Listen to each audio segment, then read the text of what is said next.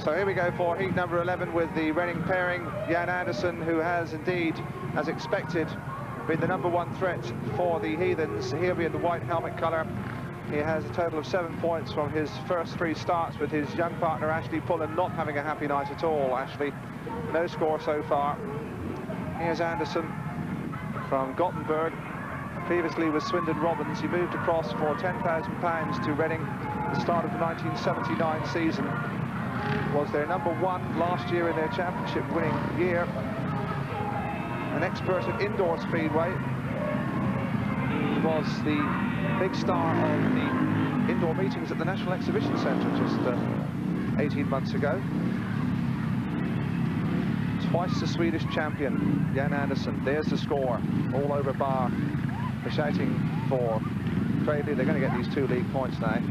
But uh, Reading will be attaining for some respectability from this fixture. 38-22 the score. On the inside there, David Shields.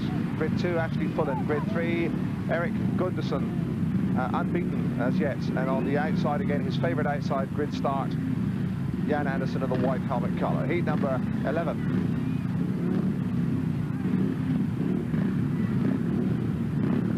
Could be a fair battle again between Gundersen and Anderson. The two Vikings and away they go. And Anderson really has got the drop. Although the Shields got away well. David Shields has got away. Shields leads it. Although Anderson tries the outside and gets the better line. Now where is Gundersen? Gundersen must make his effort. He mustn't let Anderson get too far clear because Jan really goes when he gets a bit between his teeth. Gundersen's up in the second place and we should have a rare old ding dog now. Oh, that was a bit ruthless by Anderson. He really didn't allow Gundersen the inside passes hard, but very fair.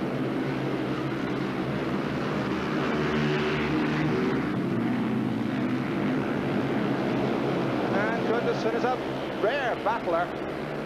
It's his lap three. Left himself with a fair amount of work to do, but he isn't finished by any stretch. There is the battle for Heat 11. Anderson still leading.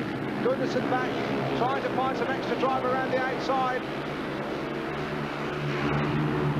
It's tremendous stuff. Last two corners. It's got to come now, if it's going to come at all. And over the line Gundersen by our reckoning. Tremendous speedway.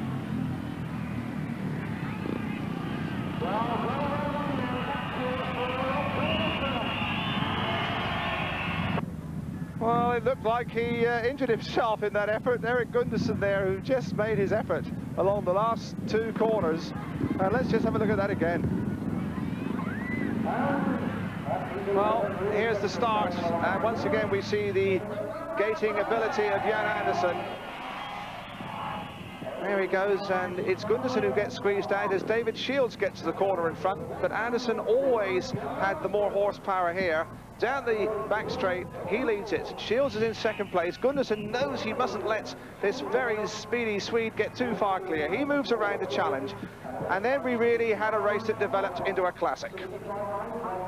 Anderson in front, Gundersen in second place, and he tried him inside right now. He tried the inside run here, and uh, well, very nearly took Anderson's back wheel off.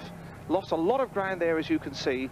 At this stage, really, all the clever money was on Jan Anderson because he was in front, he was making his own line, looking over his shoulder there. He knows he's got Gundersen at the back of him, but it seemed like he had a little bit to spare. But Gundersen, this Dane, member of the Danish World Cup winning squad, doesn't finish, doesn't stop trying until the checkered flag. And he really tried to find the outside line here, getting out where the drive is. As they go into the last lap, this really was 338 metres of absolutely vintage speedway from Erik Gundersen. Around the outside here, Anderson still looks comfortable. And now Gundersen approaches the pit corner and knows he's got to make his effort. And he keeps it all screwed on. A perfectly timed manoeuvre around the outside, a masterpiece of passing, and he clearly has got the drop on the line.